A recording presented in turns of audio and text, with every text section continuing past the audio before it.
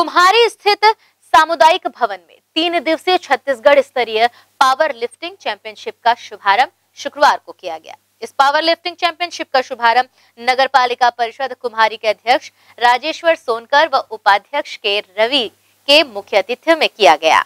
इस पूरे आयोजन में ज़िले के लगभग 200 प्रतिभागियों ने हिस्सा लिया।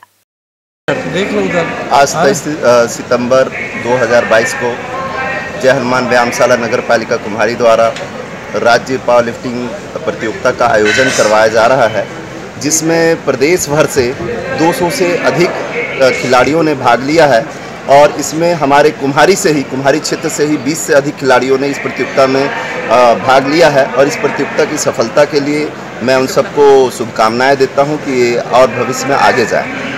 ये कितने दिनों का आयोजन है? ये आयोजन तीन दिनों का है। आज से प्रारंभ हुआ है तेईस तारीख से और 25 तारीख को इसका समापन होगा। उस दिन इसके मुख्य अतिथि श्री चैतन्य बघेल जी रहेंगे।